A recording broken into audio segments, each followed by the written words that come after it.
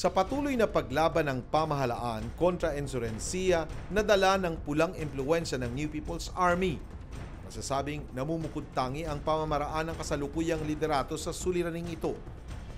Nang maitatag ang National Task Force to End Local Communist Armed Conflict o NTF-LCAC kasabay ng pagtugi sa mga natitirang rebelde, ang pagbuhos ng tulong sa mga biktimang komunidad. Sa pamamagitan nito, natanggal ang takot na namayani sa mga biktima sa matagal na panahon. the prevailing psychological ano dyan sa mga bukid is fear. Hindi sa atin, fear of the communist. Kaya sa mga barangay, tanggalin talaga natin yung takot. So yung talagang sa inyo, pagka sincero talaga ang hangarin ninyo, we will protect you. So, the military should make the long, long effort to tanggalin ninyo yung fear sa sa mga barangays. Diyan, kaw- kawawa ng tao dyan eh. Um, ano, they, they live there for so many years eh, in, in the shadow of fear. Kaya tanggalin mo muna yan. And the only way is to, ito itong ginagawa ninyo. Hindi may tatangging maraming pamayanan sa kanayunan ang lubos na nakinabang sa programa sa ilalim ng LCAC. Napabilis ang pagtugon sa hiling ng mga komunidad, partikular na ang mga pampublikong pasilidad na matagal na naipagkait sa kanila. Ngunit sa nalalapit na pagtatapos ng termino ng administrasyon ni Pangulong Rodrigo Roa Duterte, malaking tanong ng karamihan, may pagpapatuloy pa ba ang nasimulang programang pangkapayapaan? Noong nakaraang taon, naging usap-usapan ng mga mababatas ang pagtapyas ng pondo para sa NTF-LCA. Mula sa proposed na 28.1 billion pesos na budget, bumaba sa 17.1 billion pesos ang naging alokasyon para sa Barangay Development Program, isang malaking programa sa ilalim ng NTF-LCA. Ayon kay National Security Advisor at NTF-LCAC Chair Hermogenes Esperon Jr., mula sa 20 million pesos, magiging 12 million na lamang kada barangay ang ipamahagi ng task force sa mapipiling benepisyaryong komunidad. Una nang umani ng batikos ang naturang panukala, lalo na ang mga direktang natulungan ng programa na anilay pinakamagandang naging programa ng pamahalaan kontra insurensiya. Ayon sa mga former rebels na aming nakapanayam, malaking pagbabago ang idinulot ng EO-70 at ELCA. that would really affect no dun sa sustainment ng NTF-LCAC on delivering services. Yun kasi yung wala nung nakaraang mga taon eh, nakaraang dekada, yung servisyo. Siguro napaka once in a blue moon nakita ng mga taga sorry for the stigma, taga bundok, no? Yung kanilang mayor, kahit sa kapital, ah, hindi magaan nakakapunta sa mga malalayong city. No? Only in this time na may ganong uri ng convergence ng iba't ibang agency. Ngayon nakakita tayo ng isang gobernador na umaakit talaga ng mga malilibit na lugar. Yung DA nakakapunta sa malalayong city o ganito ganyan para mag-deliver ng services. Yung services na wala nung mga nakaraan.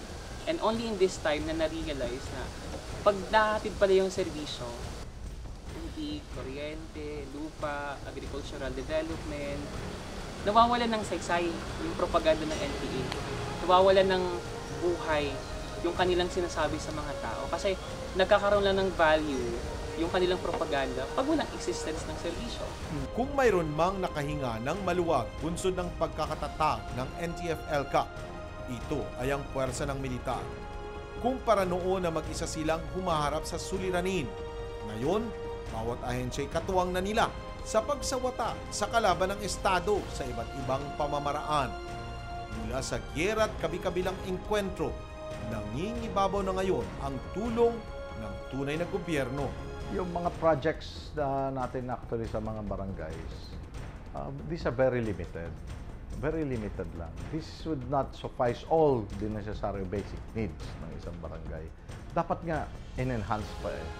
So that the development would, uh, and the government support would uh, go to or outreach to, even to the remotest barangay. Ngayon, uh, sa totoo lang, on the ground, kulang pa. kulang pa. And yet, binawasan for some issues which uh, I could say uh, the politicians there involved, especially in Congress, have their own personal uh, uh, issues actually kung, uh, with regards on how NTF-ELCAC uh, uses the funds. But for us here on the ground, napakalaking bagay po, napakalaking tulong. If uh, possible sana, is uh, more support should be given to that effort. Uh, for us, we're doing our job um, to the best of our ability, you know, uh, risking our life and line uh, to clear all of our areas here from uh, to be insurgents, insurgency free, and development comes in and resolve all the issues. Isa sa mga naging benepisyaryo ng naturang programa ay ang Barangay Sangab sa bayan ng Mako, Davao de Oro. Ayon sa punong barangay nito na si Gilbert Canedo, malaki ang kanyang pagpapasalamat na isa ang kanyang barangay sa mga nabigyan ng pondo ng NTF-ELCA. Marami yung natutulungan ng programa ng ILCAC.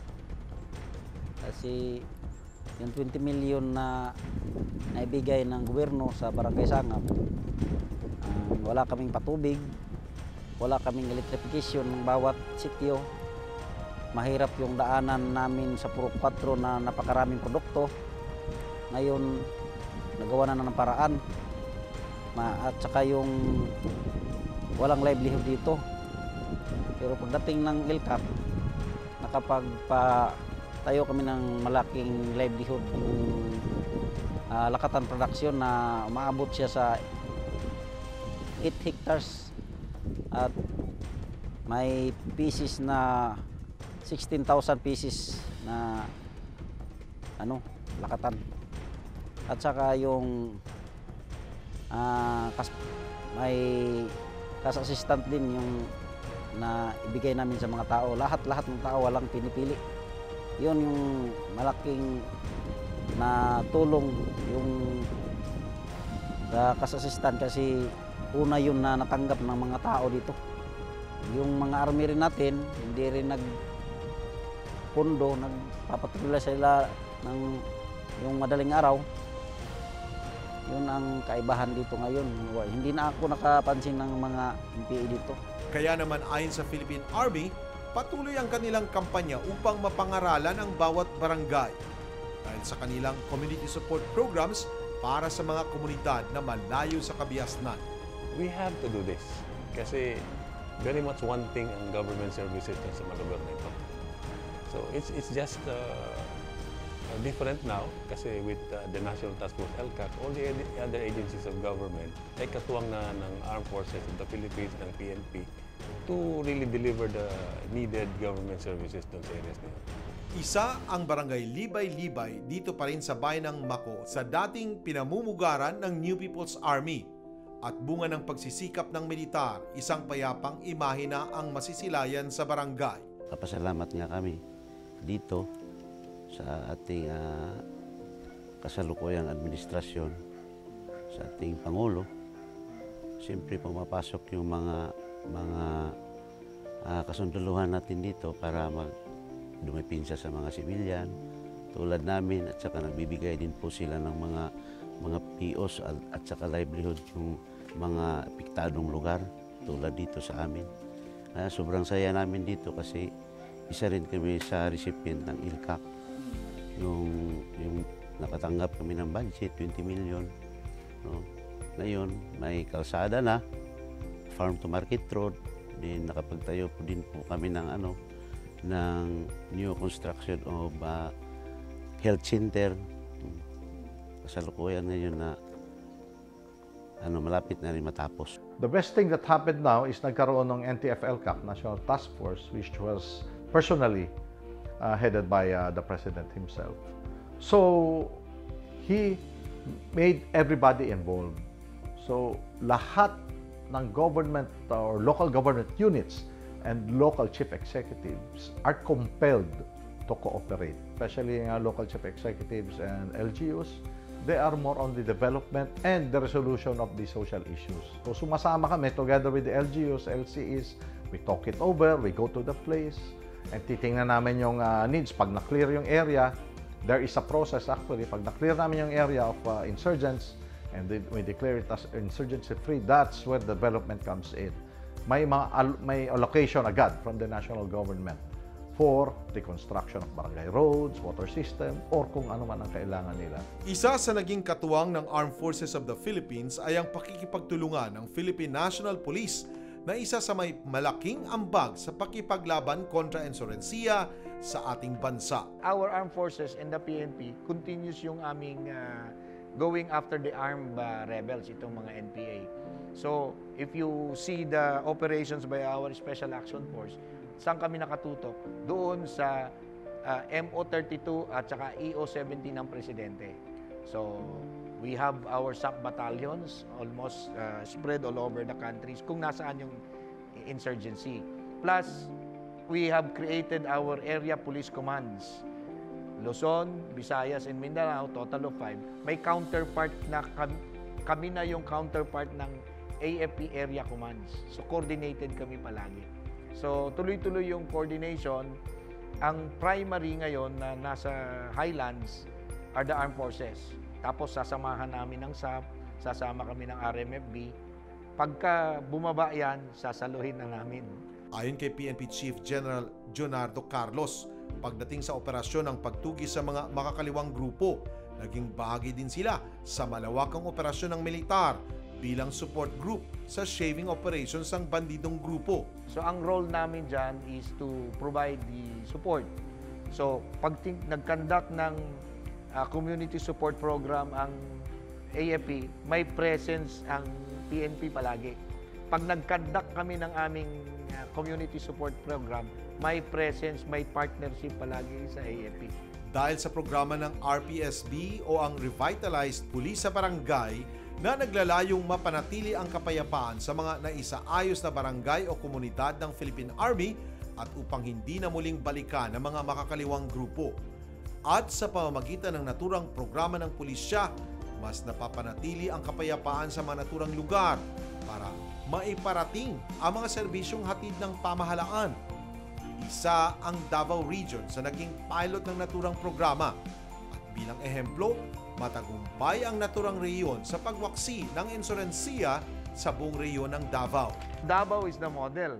Kasi pagka ini, inakyat ng uh, armed forces sa bundok at kailangan nilang lumipat to the next uh, target, kamaiiwan kami. Dadalhin na namin yung serbisyo ng gobyerno, mag- mag-stay kami to maintain peace and order, pero dinadala yung uh, serbisyo ng gobyerno. Kaya naman naging matagumpay ang programang ito at naging malaking halimbawa ito sa ibang probinsya sa bansa. Kaya naman ang naturang programa ng RPSB sa buong Davao Region ay naging pambansang kampanya na ng pamahalaan. Ayon sa Department of Interior and Local Government o DILG, isa itong magandang sangkap na kailangan sa kasalukuyang batas na EO70 upang mas mapaiting pa ang pagsukpo sa insurensiya sa bansa. Sa bisa rin ng NTF-ELCAC, naging bahagi rin ang PNP sa pagpapasuko ng mga rebelde mula sa mga kabundukan. Dahil sa magandang pakipag-ugnayan ng dalawang law enforcement agencies, mas naipadama na sa mga lugar kung saan aktibo noon ang mga naturang grupo ang abot kamay na kapayapaan. When they surrender to the armed forces, we also try to take care of them. If they surrender to us, uh, the armed forces help us in in uh, getting all the uh, necessary information. And then, kapag meron kaming uh, statements or ebidensya na itong mga personalities na to ay na-involve in some in the atro- atrocities in the past, we file cases. Sa mga nasabing programa ng pamahalaan laban sa insurensiya, tunay ngang nagkakaroon na ng pagbabago ang kinagis ng bayan. Sa unti-unting paglusaw ng tropa ng gobyerno sa grupo sa mga kaliwang pangkat, tila natatanaw na ang liwanag tungo sa pangmatagalang kapayapaan ng pamahalaan. No force can defeat us from giving the best for our effective constituents. Nothing can stop us from doing good to conquer the perpetrators of chaos and division. With a strong vision and intention, I am certain that we can reach greater heights together. Let me assure that all our national and local partners that this administration is one with you in pushing the initiatives and programs that will secure a lasting peace for the country. Hangad ng pamahalaan na tapusin na ang kampanyang ito upang sa gayon magkakaroon na ng ganap at malawakang pag-unlad sa mga probinsya at mga bayan-bayan. Sa pagtatapos ng termino ni Pangulong Rodrigo Duterte, positibo pa rin ang hanay ng PNP at ng AFP na tuluyan ng matatapos ang matagal ng problema sa insurensiya sa ating bansa. Ang gusto natin sa Philippine Army is to really comply with the President's uh, mandate for us. na tapusin natin. Kasi kung matapos na nga ito, we don't have we don't need to to worry anymore, no? Kung sa sana kung uh, everyone is aligned sa gusto nating mangyari na wala na sanang uh, threats uh, prevailing uh, when the president uh, steps down, at least andyan na yung uh, situation na we can really develop as a country. Marahil hindi na maiaalis sa kasaysayan ng Davao de Oro ang dekadekadang insurensiyang kumitil sa maraming buhay at pangarap na nawasak. Ngunit ngayon, dahil sa pagpapanaig ng mabuting pamamahala ng kasalukuyang administrasyon, bagong pag-asa ang hatid para sa mga napagkaitan ng oportunidad. Sa muling pagtapak ng mga nagbalik loob sa lupang kinalakihan, baon nilang isang mabigat na aral na hindi tiyak na susi ang dahas para mabigyang pansin ang kanilang pangangailangan. Sa mahigit 50 taon na na, ano, na pag-iral ng, ng revolusyon, gumula ng Dalzoma, ng mga matatanda, hanggang ngayon, ganun pa rin yung pinaglalaban. Napakaraming mga kasamahan na natin na nag-uwis ng kanilang mga buhay. Hanggang ngayon, hindi pa rin na bibigyan ng kalutasan yung problemang pinaglalaban natin at nais na pumalutas. Because in the first place, um, magandang ma-realize natin na mali yung paraan ng ating pagsusulong ng pagbabago. Mali yung paraan ng paghawak ng armas. Mali yung paraan ng pagpatay ng kapwa Pilipino para lutasin yung problema. Para naman sa pamahalaan, ang tunay na sagot sa pangmatagalang solusyon sa kapayapaan ay tukuyin ang ugat ng karahasan at pakinggan ang hinaing ng mga nasa laylayan at gampanan ang tungkulin sa nasasakupan na mapangalagaan ang kanilang karapatan magkakaiba man ng kinagisnan. So, ito lang yung maisip may pabot ko sa inyo. There is uh, no use, wala na hong saysay kung makipaggera tayo sa ating kapwa, Pilip, sundalo na Pilipino din naman. Uh, it's better that we work together as one people, one nation. I think things would get better kung tayo ay magsama-sama magtrabaho. Magandang gabi, Pilipinas!